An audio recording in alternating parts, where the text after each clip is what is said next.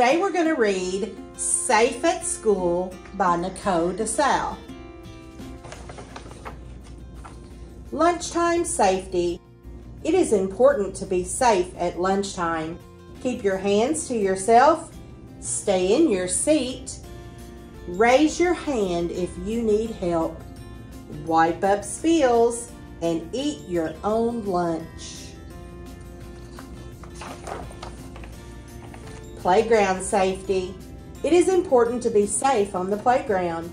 Use playground equipment properly. Take turns. Wear the right clothes for the weather. If someone gets hurt, tell the teacher right away. Fire drill safety. A fire drill is practice for a real fire.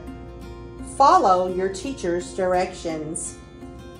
Fire drill safety rules. One, listen carefully to directions. Two, quietly line up. Three, walk carefully outside with your class.